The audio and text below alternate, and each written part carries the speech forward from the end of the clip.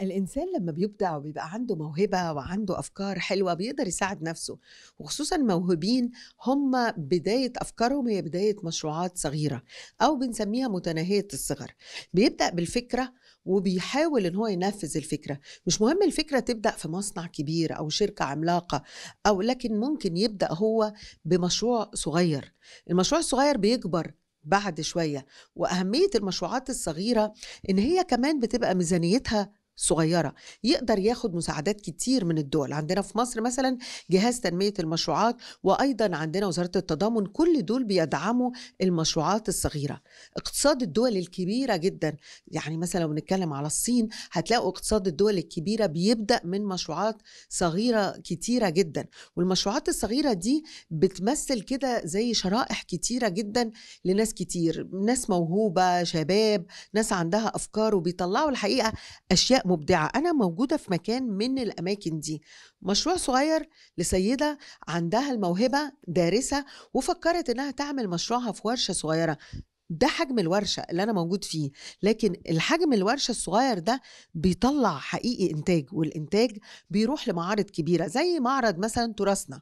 معرض تراثنا في مصر من المعارض المهمة اللي وزارة التضامن بترعاه والحقيقة بيشرفوا بالحضور دايما ويهتم بيه السيد الرئيس عبد الفتاح السيسي. سيدة نانيس اللي أنا موجودة عندها النهاردة سيدة نانيس عبد اللطيف المبدعة اللي بتعمل patchwork ال patchwork ده بيجي من بالعربي كده القصاقيس أو القصاقيس زي ما بتقولوها في الدول العربية أو بواقي مثلا الأقمشة. إحنا بنقولها بالعامية في مصر القصاقيس. فبواقي الأقمشة أو ما تبقى من أي بيجمعوها ويعملوا بينها أفكار. فال patchwork معروف جدا في العالم وبيتعمل له معارض كبيرة جدا وفي مصممين عالميين أحيانا بياخدوا بعض الأفكار دي.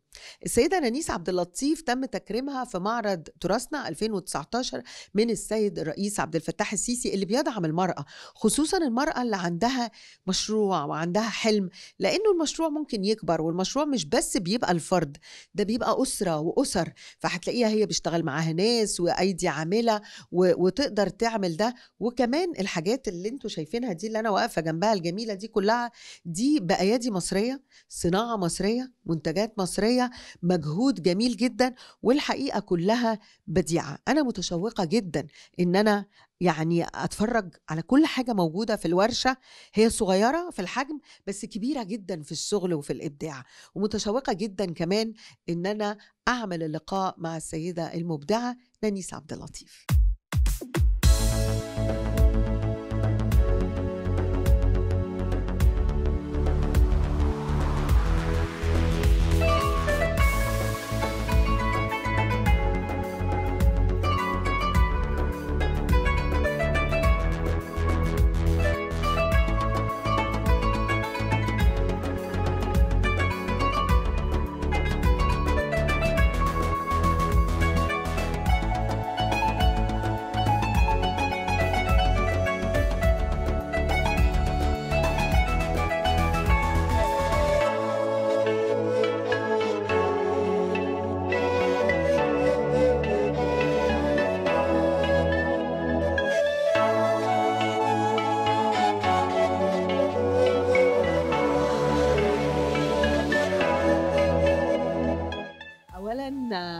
أنا ببقى سعيدة جدا لما أجي مشروع بتديره سيدة كده مبتكرة عندها ابتكار وعندها أفكار. ورشة صغيرة جدا مش مهم يكون حجم الورشة إيه ولا مكانها لكن المهم الإنتاج اللي بتعمله الورشة.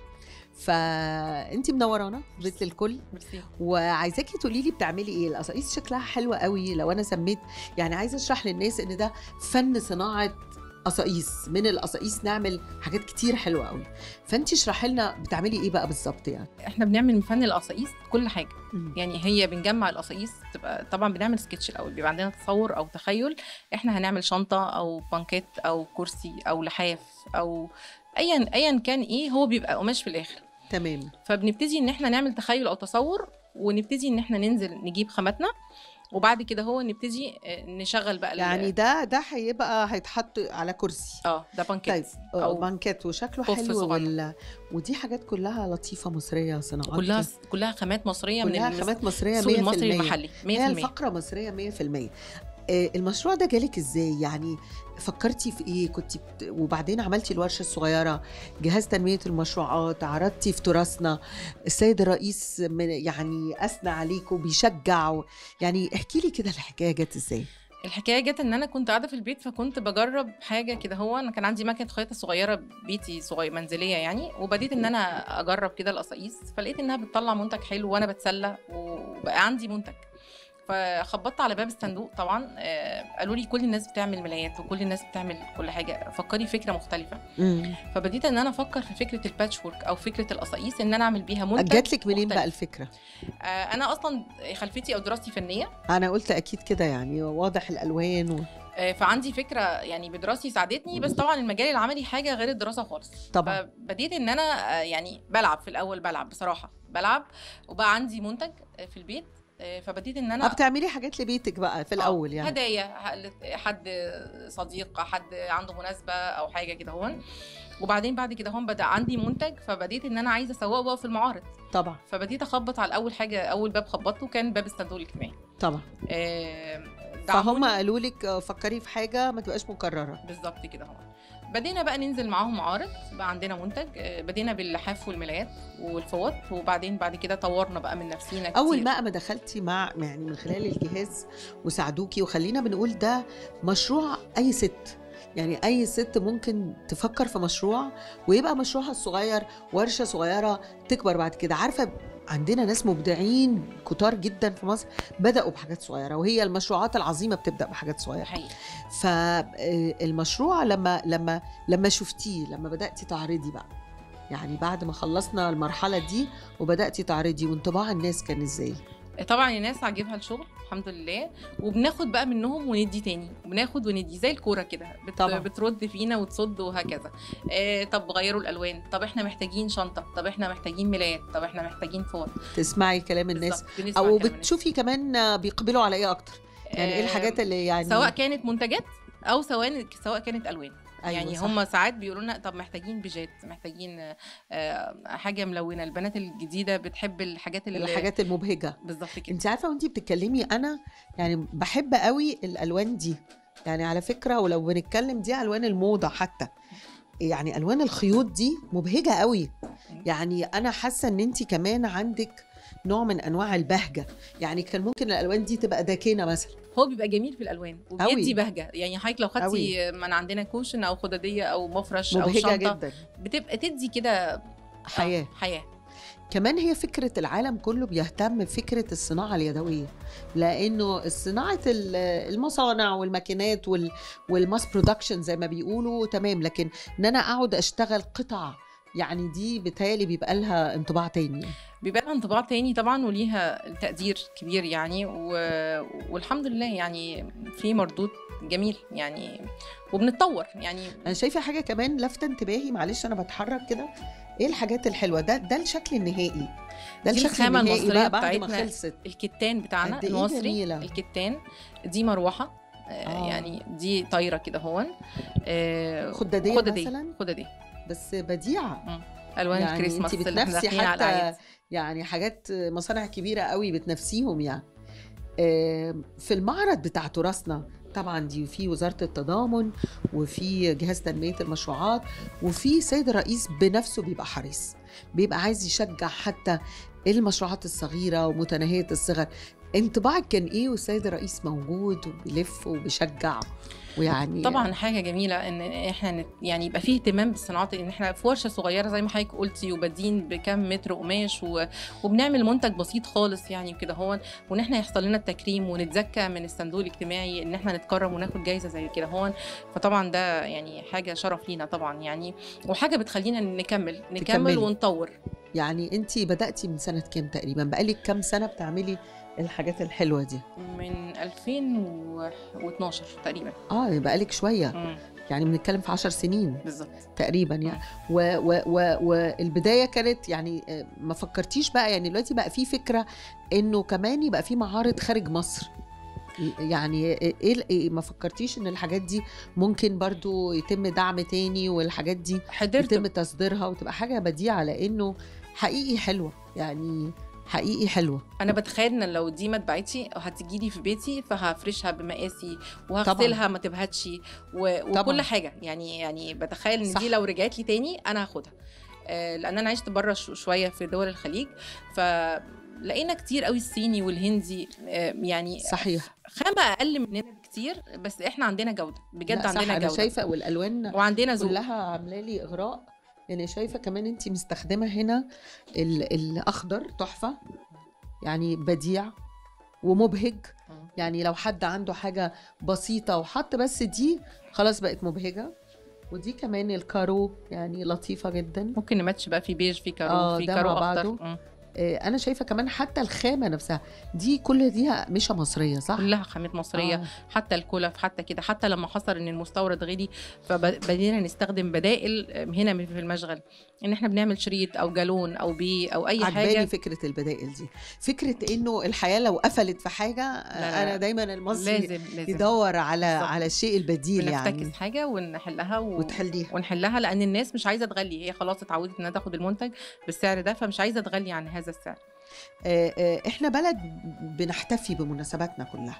كل مناسباتنا الوطنية والدينية وداخل علينا أعياد الميلاد برضو أكيد آه، بتبقى دي, دي مناسبة. جدا آه للكريسماس دي مناسبة الورد. جدا لأعياد الميلاد آه لكل ال- الإخوة الأقباط في أي حتة بيشوفونا دي هتبقى لطيفة جدا ومناسبة. بالظبط. يعني الحقيقة حاجة لطيفة. الأسعار بقى بتبقى إزاي؟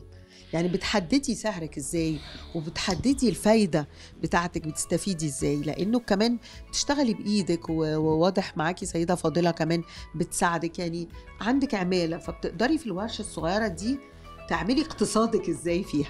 طبعا إحنا بنحاول إن إحنا يعني نقلل التكلفة على قد ما بنقدر عشان يعني التكلفة السوقية الناس يعني الحاله الاقتصاديه مش مستحملة فبنحاول إن إحنا على قد ما نقدر آه، بنستخدم خامات معقولة مش رديئة ومش غالية قوي ففي الوسط آه، بنحاول في طرق التشغيل برضو ما نعملش كده اللي عايز تشغيل أكتر بنقول له بس السعر هيعلى آه، فبيبقى حاجة في متناول الجميع أو في متناول كل الأيادي يعني عشان ما ما نسعرش الكوست بتاعنا يبقى يعني ممكن تعملي حاجة حلوة قوي. يعني انت بتبصي على السوق آه كمان طبعا.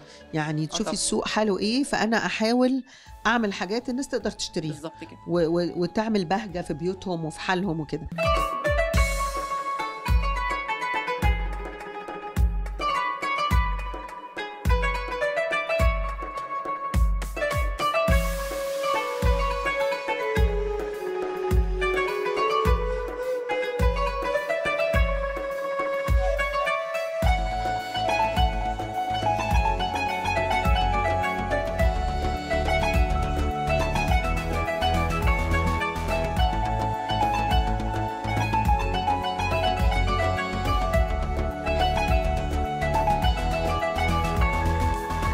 طيب آه، وده اللي بيخليني أقول المكان الصغير ده لأنه أحيانا برضو عارفة آه، أستاذة نانيس الناس تقول لك إيه آه، هجيب فلوس مصنع منين؟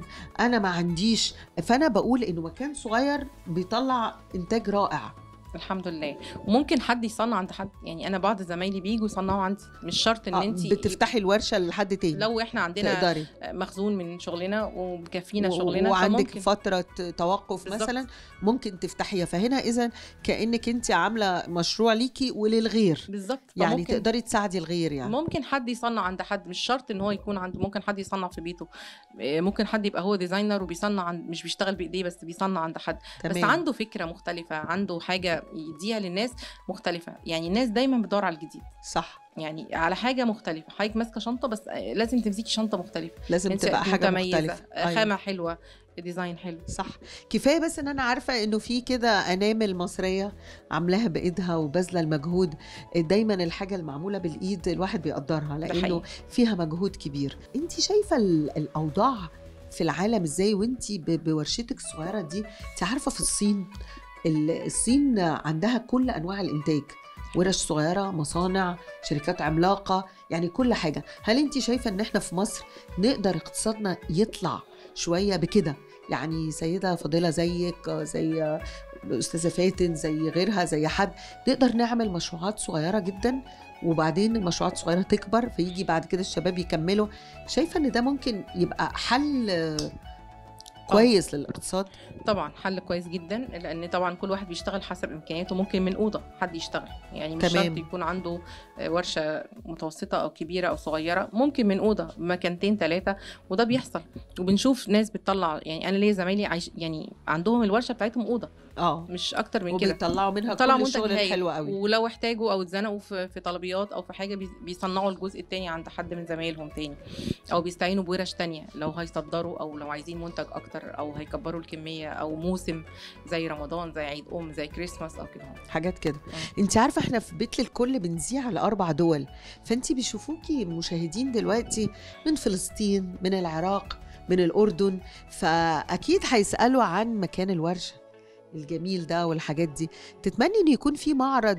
يعني يبقى أنت من مصر يبقى في ناس بتعرض برضو زيك كده من الأردن من العراق من فلسطين ويبقى معرض كامل. يبقى في كل الدول يا ريت كمان تنضم الدول العربية ويبقى ده للمشروعات الصغيرة. شايفة. ده يبقى حاجة لطيفة طبعا. جدا. يا ريت يا ريت طبعا. بتبقى فرصة للتعارف وتبادل الأفكار وتبادل الأذواق آه، كل حاجة. يعني آه، في السفر سبع فوائد زي ما بيقولوا. سبع فوائد للجميع. وأنا وأنا بتمنى إنه وزارة التضامن و... و... وعندنا في مصر يبقى فعلا في الفكرة العربية لكل المشروعات الصغيرة دي. خصوصا إحنا عندنا ده كتير في مصر. أيوه. أنا شايفة كمان فوط. يعني انت عاملة حاجات كتير إحنا متنوعة. بدينا آه بدينا باللحاف اللي هو الكبير ده هو. أيوه. وبعد كده عملنا ملايات وفوط. وبعد كده بقى دخلنا في ال furniture اللي هو البانكيتات كراسي ستاير حاجات مكملة بقى. بتستغلي ال social media؟ لأن ال social media بقت انت دلوقتي عندك اولا معارض تراثنا بقت واجهه حلوة قوي. لمصر. وأكبر معرض تقريبا للحرف أكبر معرض و... وبيبقى حاجة حلوة قوي. بالظبط. هل بتروحي مثلا تعرضي من خلال جمعيات من خلال آه، حاجات معارض فنية بيبقوا طالبين؟ لا أنا بعرض في تراثنا بنفسي. في تراثنا بتعرضي آه. بعرض يعني باسم البراند بتاعنا وبنفسي. يعني آه. بقى يعني من بداية تراثنا خلاص والناس بقت عارفاكي. آه. بتجيلك مخصوص يعني. الحمد لله. طيب آه، وبتخلص البضاعة وانت موجودة الناس بتبقى عليها إقبال آه، ولا انت بقيتي عارفة هم عايزين إيه؟ عارفين تقريبا الكميات بتاعتنا إيه ولو حد طلب حاجة مثلا لونها مش موجود أو تعمليها بقى. بالطلب. بنعملها بالطلب. آه بالظبط يعني. ال social media. يعني دلوقتي كتير في شباب وناس بيعمل صفحة على الإنستجرام على, الفيسبوك على أي platform يعني وبت بت وبيقدر يوصل الطلبات. هل ده موجود؟ فكرتي فيه إحنا عندنا ده يعني فعلا عندك ده. آه، عندنا ده هو آه. آه وفي طبعا تفاعل وفي طول الوقت أنت معاكي ناس بيساعدوكي لكن أنت اللي بتحطي ال design الألوان الأشكال ال- بنحط الألوان وساعات هي في التشغيل تقول لي مش هينفع كده لو عملناها كده هتبقى أسهل أو الطريقة آه. دي أسهل. بحب إن هم يرتاحوا هم بيشتغلوا لأن تمام. هم هيريحوني وهيطلعوا إنتاج أفضل. أكيد. يعني حتى إحنا كاتبين على ال business card بتاعنا made with love بجد إحنا اللي أيوة، مش بيحب معمول بحب. بالظبط معمول بحب أو مصنوع لا ما هو. واضح ده اللي ده مش بيحب مش منتهى الحب والدقة يعني, يعني, إحنا بنيجي جداً. المشغل كأننا بنلعب يعني بالظبط آه، كأننا بنلعب. بنبقى مبسوطين ومهما كان التعب لما يعني. بيطلع المنتج في النهاية بجودته وبيعجب العملاء بتبقى دي حاجة مرضية قوي بالنسبة لنا وبيعوضنا التعب اللي إحنا حسيناه خالص أكيد أنا سعيدة اولا لأنه مكانك مبهج حلو آه، بسيط يعني يعني يخلي الواحد إنه أنا ما بعرفش أخيط بس حاسة إن أنا عايزة أدخل في على الموضوع عايزة. أجرب على المكنة أنا. كمان آه بس لأنه على قد ما هو صغير بس في طاقة حلوة ودي بهجة حلوة ودي أكتر حاجة الحقيقة بتساعدنا إنه دايما. يكون عندنا مشروعات هي مصر ولاده وانت اسمك فرعوني. يعني واخدة من الأجداد يعني آه. بتمنى لك التوفيق وإن شاء الله الناس تشوف شغلك الحلو ونورتينا في بيت للكل لأن هو بيت للكل برضو. يا رب دايما بيت للكل مصر كلها تكون بيت للكل إن شاء الله. بشكرك ميرسي.